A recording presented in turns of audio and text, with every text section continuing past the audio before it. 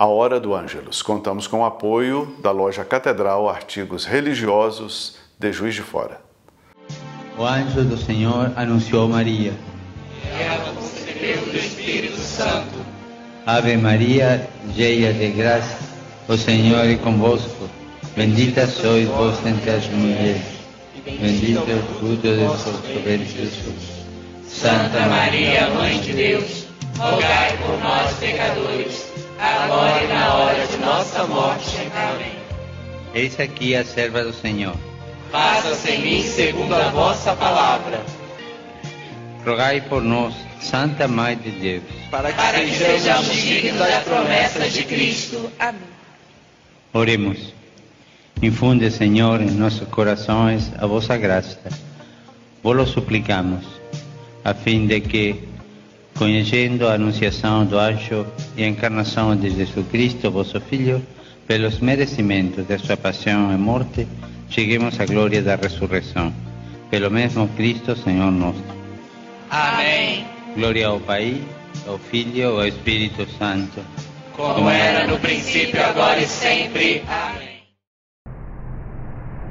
Nesta hora santa, que dedicamos à nossa querida mãezinha, ouçamos a palavra do Filho dela. Todo aquele que faz a vontade do meu Pai que está nos céus, esse é meu irmão, minha irmã e minha mãe. Aquele que faz a vontade do meu Pai que está no céu, esse é meu irmão, minha irmã e minha mãe. Sabemos, irmãs e irmãos, que depois que Jesus voltou do Egito, talvez nós diríamos no início da adolescência, no final da sua infância, ele se estabeleceu em Nazaré, a cidade onde morava a família de Maria, uma grande família, com tios, primos, genros, noras, uma família provavelmente uma família que vivia ao redor de uma profissão comum, talvez a carpintaria. Então Jesus, por 30 anos, 25 anos, viveu nessa grande família é, é, ao redor, como a tradição nos diz, de Santana e São Joaquim. Essa era a grande família de Jesus. Quando Jesus visitou Nazaré, no Evangelho de Mateus, lá no capítulo 13, no finalzinho do capítulo, nós temos um retrato dessa família. O povo da cidade disse: Mas esse aí não é o filho do carpinteiro? Esse aí não é o filho de Maria que nós conhecemos? Os seus primos não estão todos aqui? Não são Tiago, Judas, Simão, José e suas irmãs, suas primas, suas parentes não estão todos aqui entre nós? O que ele tem de diferente? Então a humanidade, a família de Jesus, uma família comum, escandalizou o povo lá de Nazaré. Jesus tinha uma família humana.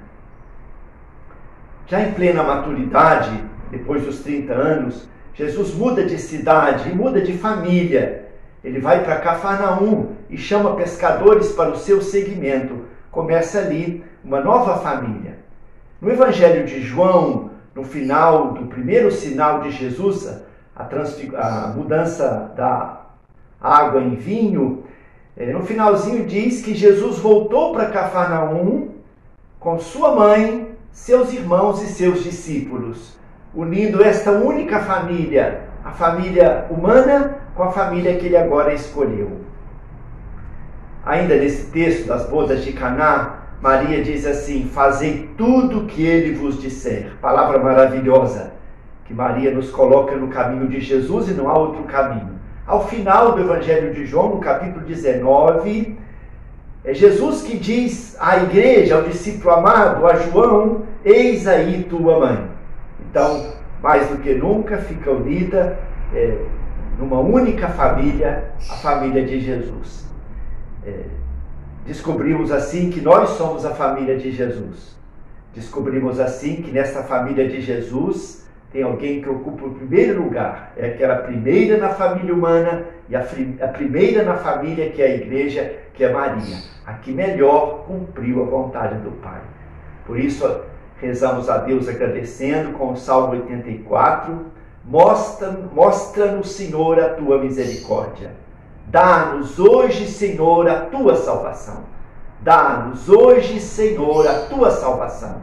Aquela salvação que Maria nos trouxe do seu seio divino. Acolhemos a bênção da Mãe querida.